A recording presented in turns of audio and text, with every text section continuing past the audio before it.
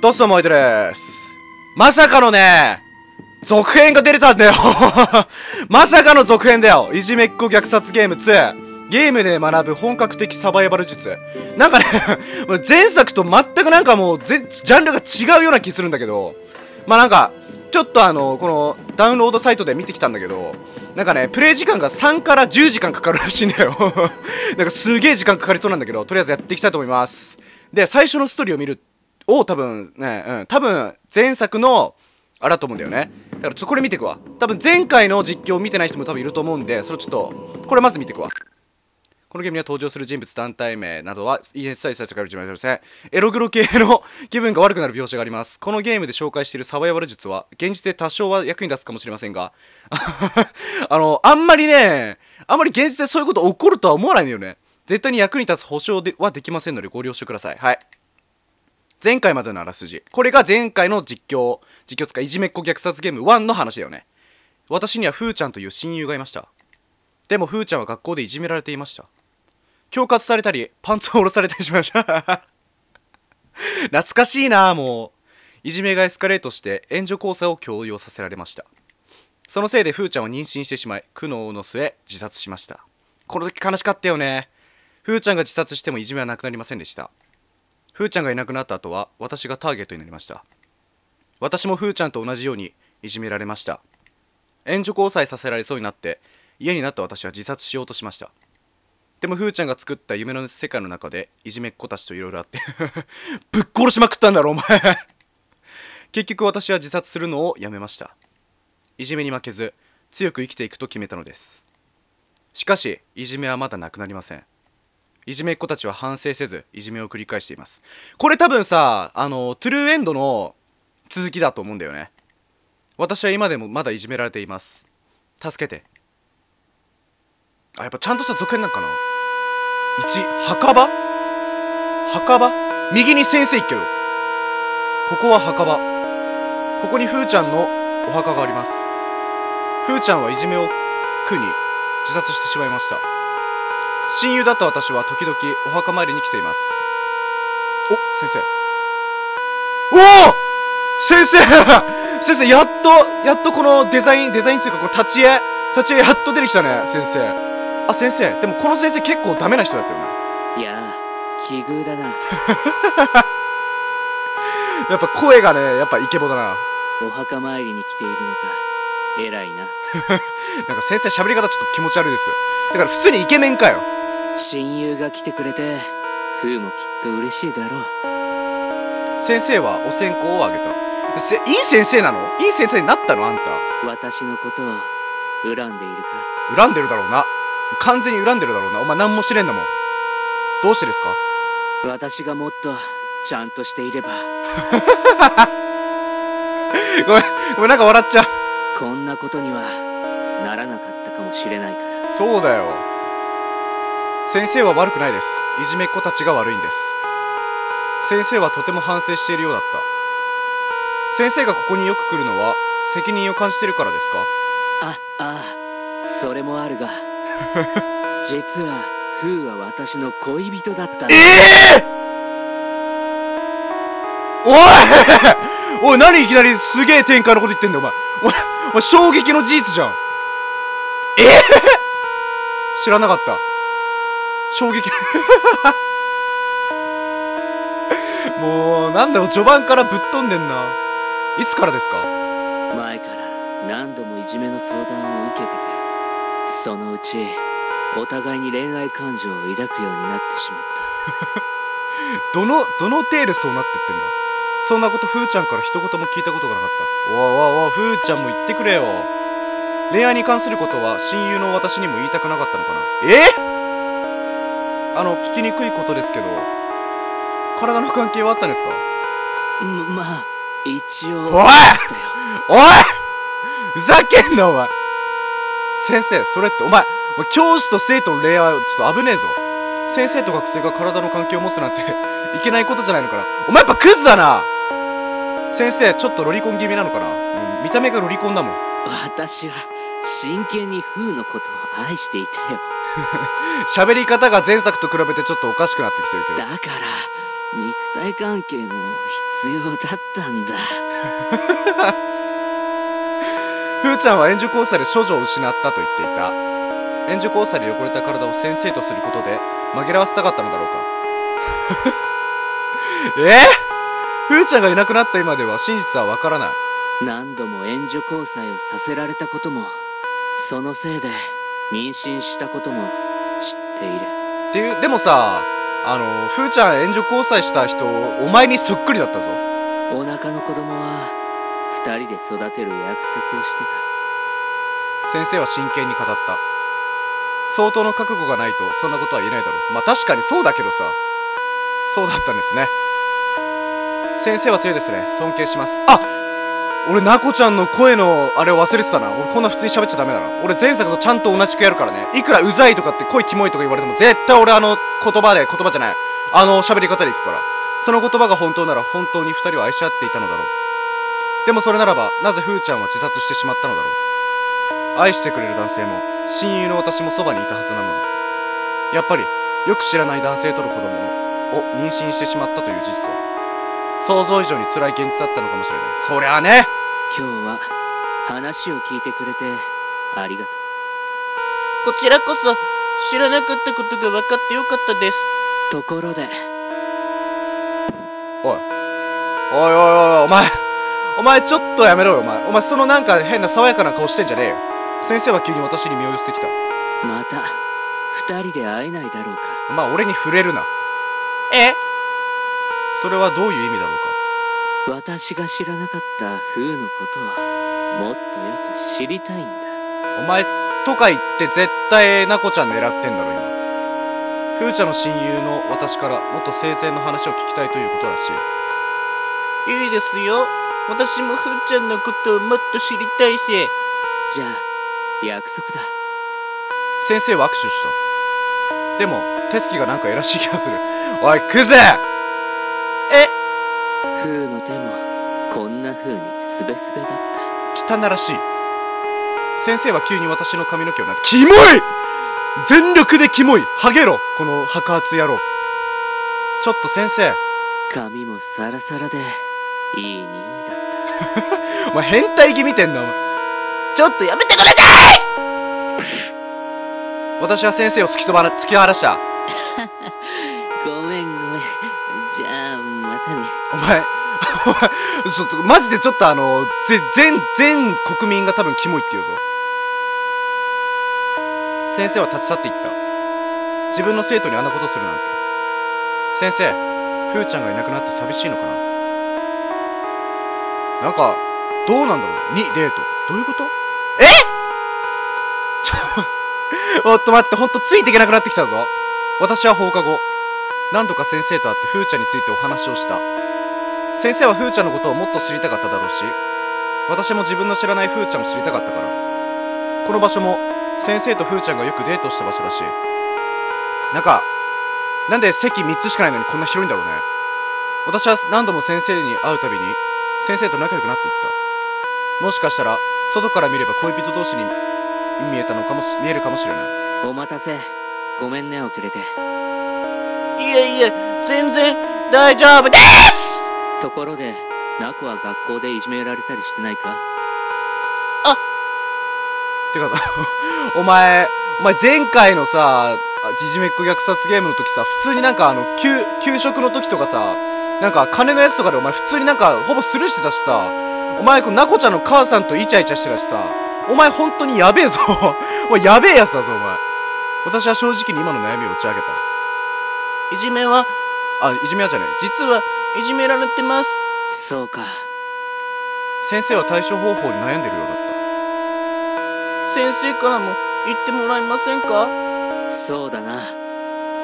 たふと先生が怖い顔になっフーが自殺したっていうのにあいつら全然反省してないな。た お前のその性格本当につかめねえわ。本当に腹渡が煮えくり返る思いだよ。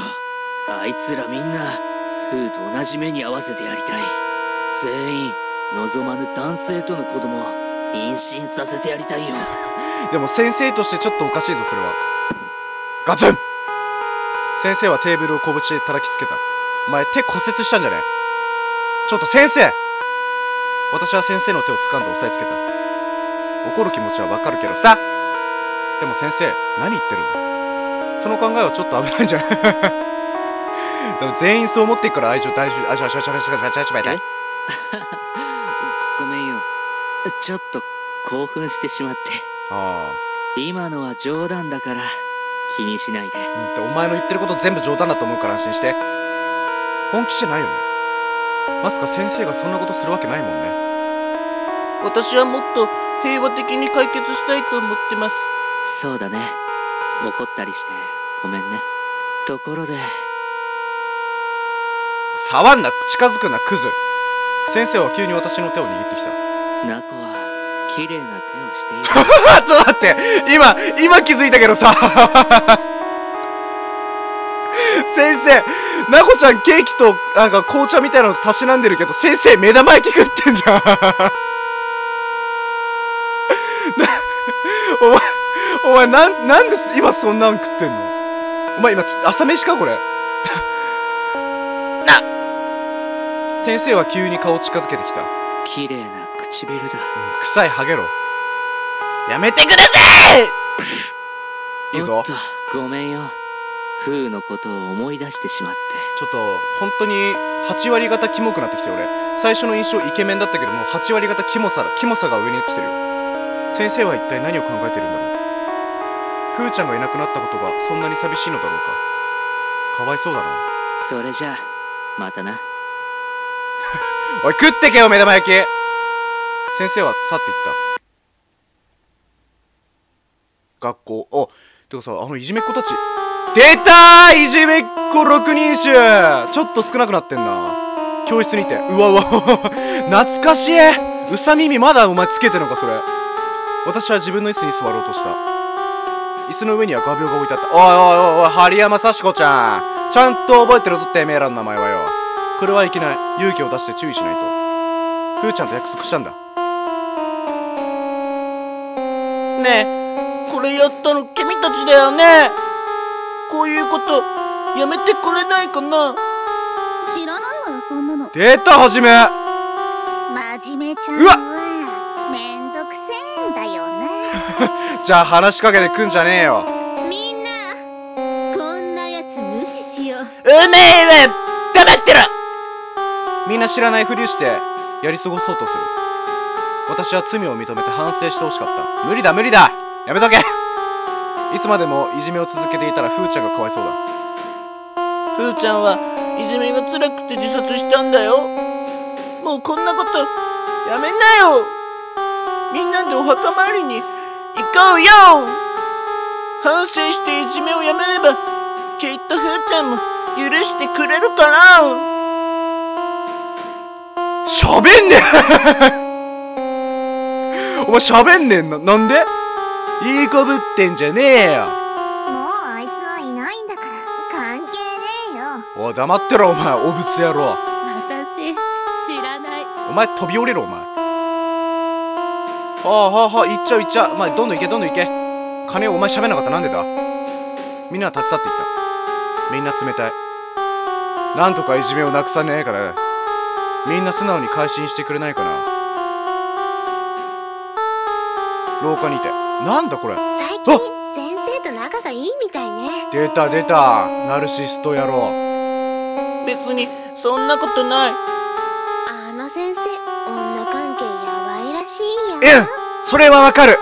助けてキサキちゃん。結構結構なんか心配してくれてんのかな？え？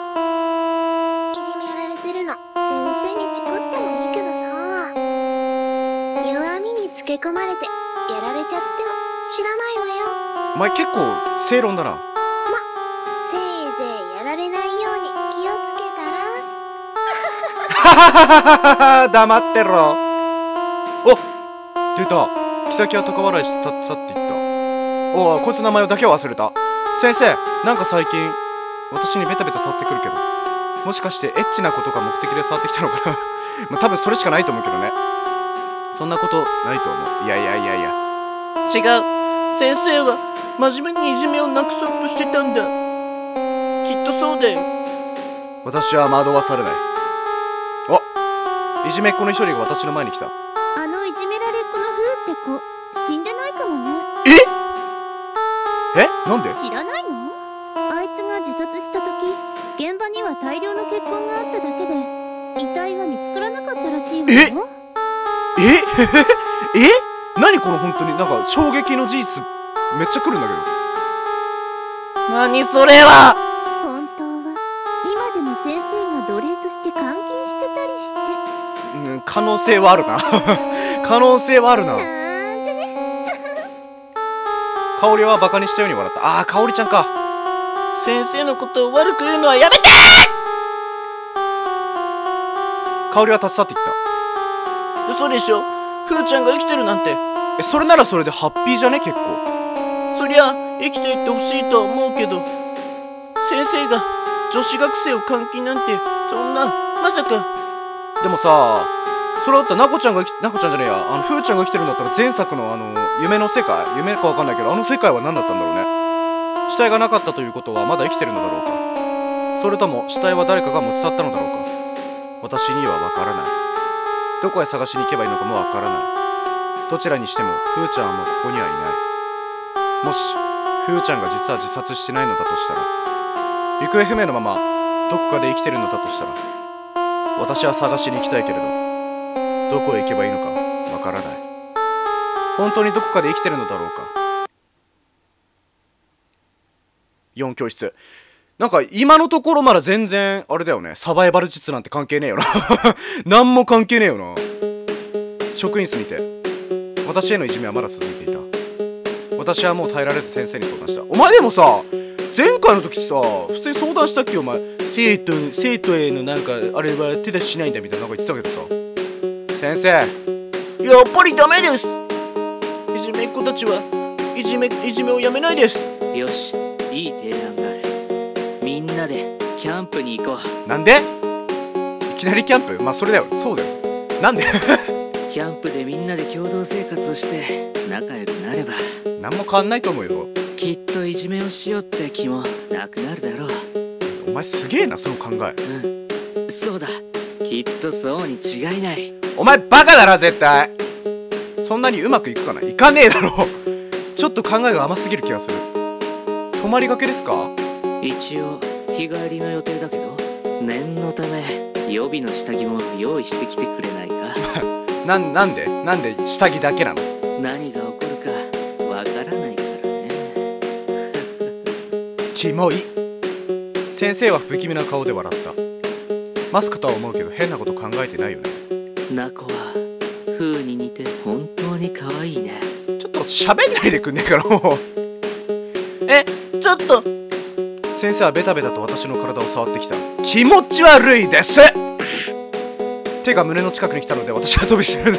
思いっきり蹴ったろうな今。バックステップしながら蹴蹴ったろうな。きっと素敵な思い出ができるよ。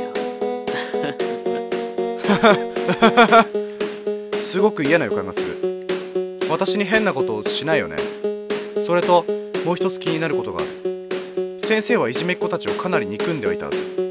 それなのに急に一緒に楽しくキャンプしようだなんて。何か仕返しをしようとか考えてないよね道路。なんだ？もうお早速キャンプか。キャンプ当日。小型バスを借りて出発し た BGM なんかなんでこんないきなりいいいい感じの BGM になってんだよ。何も何も事件が起きなければいいがバスの中にいて。なんか臭いわね。変なもの持ち込んでない？出たお前またいじめだ。よお前またそうやって匂いでいじめんのか？お前。私コンパス持ってきたよ。うっぜ。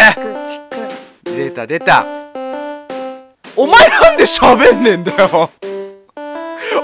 おお前お前何なんだよ。川で遊ぶために浮き輪持ってきたぜ。普通かよ。いじめろよ。私はお化粧道具を持ってきましたわ。あ香水のせいかしら。うーん多分大衆のせいだろうなお前の。きっとそのせいよ。眉毛なら私がカッターで整えてあげるわ。お前危ねえな本当に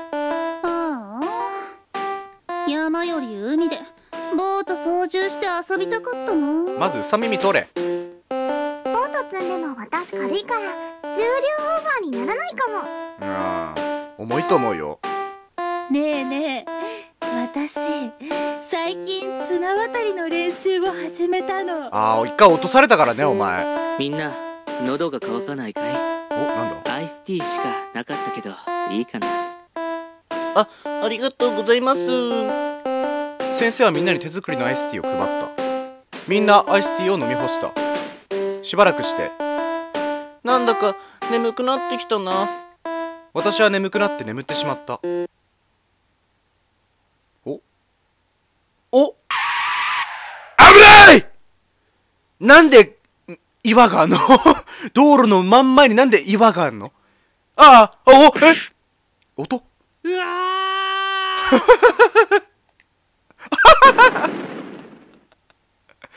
やべえ展開がすげえ。ドン！ガラガラガラガラ。私たちは大きな衝撃に包まれた。気がつくと森の中にいた。目の前に横転したバスと大きな崖があった。バスはタイヤがパンクしている。なんで生きてんのお前ら。あのあの高さから落下しよく生きてんな。てかバスも全然横転しただけで全然傷ついてねえよ。どうやら崖から落ちてしまったらしい。隣にいた先生が目を覚ました。立ってたよ。ー呪いだ。何が？これはきっと風の呪いだ。わけわかんない。お前フーのこと好きじゃなかったの？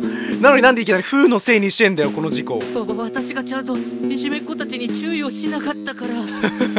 亡霊になった風が復讐に来たんだ。殺される。殺さないでくれ前ちょっと精神おかしくなってきてんぞ。先生はパニックになっていた。あれてかさいじめっ子4人しかいねえけど他死んだ？でもちょっと驚き方が大げさな気がする。あーやっぱ嘘ついてんだな。先生落ち着いてください。これこいつが仕掛けたのかな？ああすまん。取り乱してしまった。取り乱しすぎだろ。まだ誰も死んでません。何人かいないみたいだけど。先生、えーはじめちゃんせんちゃん、えー、かおりちゃんさしこちゃんがいた。あートップレベルにめんどくせえやつらが残ったな。ラッカちゃんかこちゃんかねおちゃんきさきちゃんはいない。4人いない。え やっぱり風の呪いなのか？だろうな。別の場所に落ち落ちたのかもしれません。私は横転したバスから荷物を引っ張り出してきた。とりあえずしばらく生き延びるための水と食料はあるみたいだ。荷物は無事みたいですね。とりあえずここにテントを張って助けが来るまで待つか。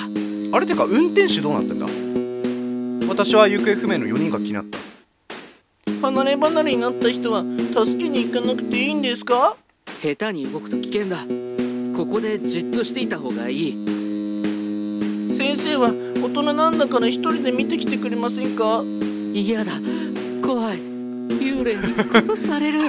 お前クソ野郎だな幽霊なんているはずないのに。先生なのになんて頼りないんだ。どうしても探しに行きたいなら二人で行った方がいいだろう。私は先生と一緒に外に出たくない。完全に避けてんな。他の女の子もいじめっ子だし一緒に行くのは気まずい。しばらくはここでおとなしく過ごすしかないのか。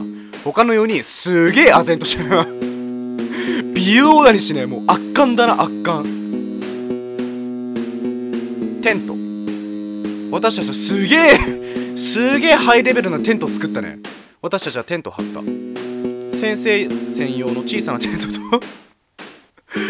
同じくらいのでかさだけどな。私たちが寝る大きなテント。先生のテントすげえ豪華だぞ。一人だけなのに。男と女ということもあり二つに分けて寝ることになった。先生もう野宿だよ野宿。道具が必要な場合は材料があれば作ってあげよう。無理だろ。食料が足りなくなったら私に相談しなさい。お前頼りね頼りねえくせになんでお前。他にも何か困ったら私に相談しなさい。先生は自分のテントに入っていった。何か困ったことがあれば先生に相談すれば大丈夫だろう。私たちもテントに入りましょうっていういじめっ子が先導するやつね ちょっと生意気なんじゃない？って言うと思ったよ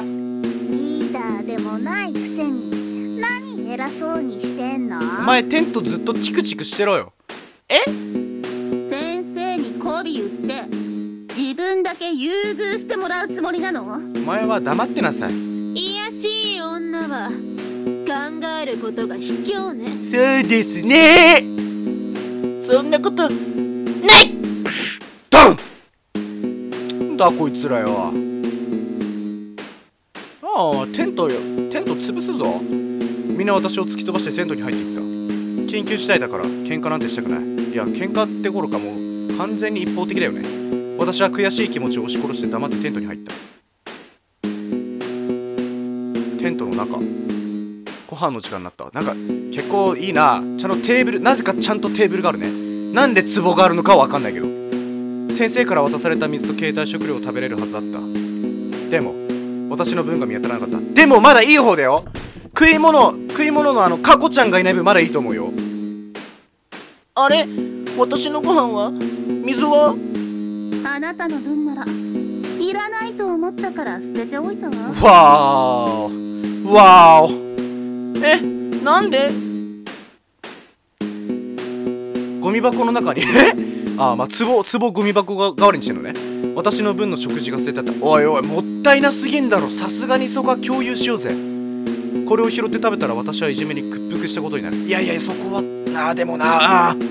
そんなことは私のプライドが許さない。おいおいおいおいでもお腹空いたし喉も渇いた。なんとかしないと。テントの外。どこかで代わりの水や食料を見つけてくるか。